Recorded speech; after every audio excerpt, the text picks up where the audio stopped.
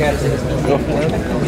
A múlt héthez képest sikerült meglőni másik gólodat is, hogyan értékeled a mai mérkőzést? Ö, így van, elég jó mérkőzés játszottunk, azt gondolom.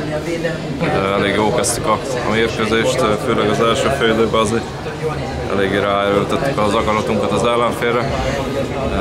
Rúgtunk három gólt, úgyhogy ezt szerintem nem kell magyarázni.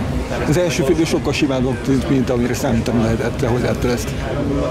Hát, hogy mire lehetett számítani, azt nem tudom, mert minden meccs más, úgyhogy nem tudtuk, hogy mire, mit szá, illetve nagyjából tudtuk, de azért pontosan nem tudtuk, hogy mire számítunk. Nyilván mondom, agresszívan letámadtunk már a, a, az elejétől fogva, úgyhogy elég sok labdát tudtunk ott szerezni, helyzeteket kialakítani, úgyhogy abszolút elégedettek lehet.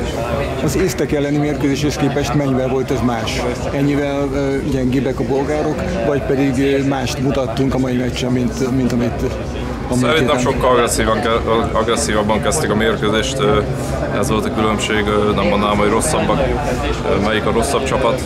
Szerintem mi léptünk föl támadó, támadólagabban és agresszívabban, ennek volt szerintem ez köszönhető. Köszönöm szépen. És Martin, ti is annyira magabiztosnak éreztétek magatokat a pályán? Felszabadultak, mint amennyire ez kívülről látszódott? Ezt akartam kérdezni, hogy kívülről mi látszódott. Szerintem abszolút ez így volt, tehát főleg amikor már három dúl volt picit, mondhatom könnyedében is játszottunk, meg volt már az önbizalom, de az elejétől fogva meg volt, tehát gondolom jó futballoztunk, főleg az első fél időben, mentalitásunk az abszolút nagyon rendben volt, úgyhogy mondhatom, hogy nem adtunk esélyt a, bolgárok. Gólodat meséld el. Hát jött egy ilyen akkor ítettem a hosszúba. Ez volt egyébként megbeszélve, vagy gyerek készültetek, hogy, hogy legalább két-három góllal menjetek pihenni a szünetről? Hát nyilván az előnybe szerettük volna.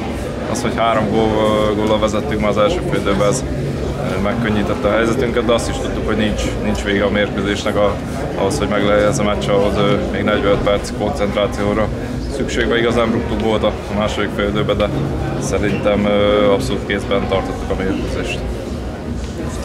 Ez meg volt egyébként beszélve, hogy a második fél időben egy kicsit visszabáltuk, hogy többet tartjátok a labdát, vagy pedig így alakult egyáltalán? Nyilván azért 3 0 már, már e, jobban tartsuk a labdát, úgyhogy e, nyilván erős készültünk. Köszönöm szépen, gratulálok!